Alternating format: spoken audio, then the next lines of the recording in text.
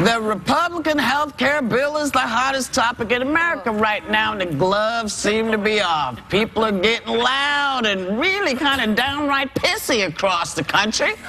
And Newsweek's Kurt Eichenwald even tweeted, as one with a pre-existing condition, I hope every GOPer who voted for Trump Care sees a family member get long-term condition, lose insurance, and die.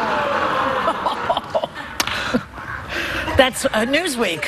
I, I, you know, as somebody who has a pre-existing uh, pre condition, that's kind of where folks are at. Well, he has epilepsy. Yeah, yeah. what he's talking about really is empathy. Because, uh, you know, if you think about it, sometimes people cannot empathize with others unless they have someone very close to them going through it or whether or not they're going that's through right. it themselves. Well, and I think that's what, you know, he said it a little inartfully, I think. A little? Inartfully? I don't think that was inartful. I think that's somebody who's suffering from something who says, listen, y'all didn't have to do what you did the way you did it. Yeah. And basically, you're giving me the middle finger, so I'm giving you five fingers back. Well, and I think it's putting salt in the wound when they keep saying, don't worry, you'll still be able to go to an emergency room. He makes the point when he explains his statement that people with certain chronic illnesses, you can't just show up in an emergency room and get chemotherapy. Yeah. You can't go Do you get remember that part so, of the reason that, that folks fought so hard to get care passed, and let's not call it Obamacare. Let's call it Kennedy Care because he was the guy who's been driving this truck. Teddy Kennedy. Teddy, Teddy Kennedy. Kennedy. Yeah. So one of the reasons he wanted this to go through is to keep people from going to the emergency room with everything. Yeah. Because people couldn't afford to go. If you can't afford it, they have to treat you in the emergency room. Yes. And that's what that's the what the GOP really, that's more expensive for everyone. As, as far as how horrible this sounded, I mean, he's talking basically about a Republican Congress that just tried to pass a, a law that would kick 24 million people, women, children, uh, who were at risk, off of the insurance rolls, and then they celebrated. They started to clap and well, I mean, that to me is more.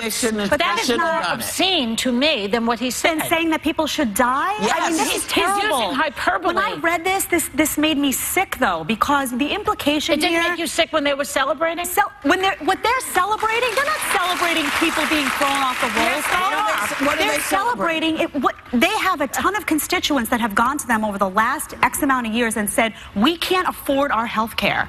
There are single moms out there. Let's there get are real. tons of people that no. Let's get real because No. a lot of people have not been able to afford health care and have gone to these representatives and said please help me and they're had celebrating health care before the Affordable Care Act. It had nothing. Wait a second. A lot of people Let have me- health let care. me- No, Wait, that's not hold up, true. hold up. That's Wait. not true. Let Hold me on. be honest. Let's That's be honest on, about. go Hold ahead. on. They are saving money. They are taking billions out of Medicaid so that they can give tax breaks to the rich in the next budget. That's what- That's what this is about. Okay, but That's the truth. Here, the implication here is that Republicans are like aliens. Republicans have moms. Well, they have moms and they yeah. have children and they have grandparents. they have the They're ability to take care of their. Right. Listen, here's the thing. Here's the thing. People have said, you know, help me. And so what do the Republicans do? They slash the very people who need the help. Instead of saying to the insurance companies, hey, let's figure out a way to help these people, my constituents, have insurance that works for them and their families with the amount of money that they have. That's not what these guys did. But they that is- took no, they took what a they quick did. no, They did it differently. You might not like the way they did it, but that is what they did. And they slashed and burned, and now they're paying.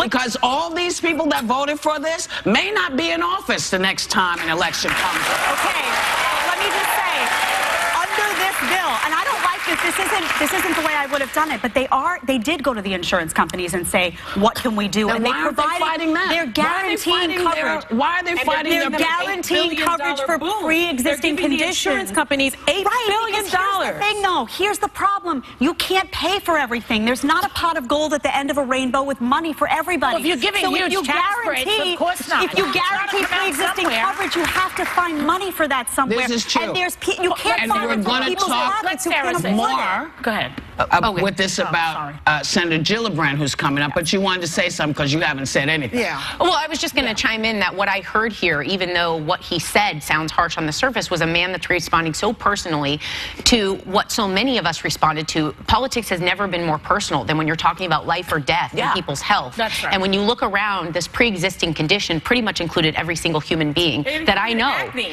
You know, well, Yeah. and and and it and a lot of times gave women a slap in the face because Yes. it was postpartum postpartum depression. C-sections. It was C-sections. It was uh, it was maternity care. So many things. So I think it was hard to react to this with any sense of calm or logic when you're talking about people facing these illnesses. And this gentleman specifically yeah. Faces epilepsy, and, and- his wife is going to be responsible for his. And as we've discovered, we found this with Nancy Reagan. Right, I was just You know, uh, once uh, her husband needed stem cells, everybody was all for it.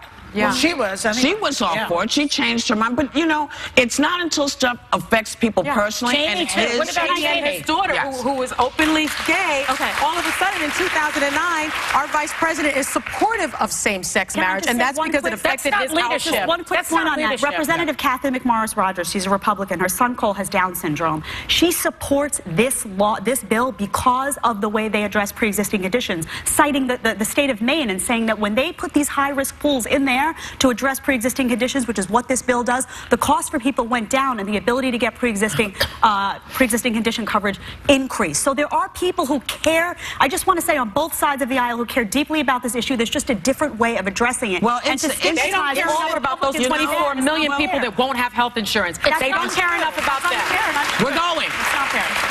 We'll be right back with more Hot Topics.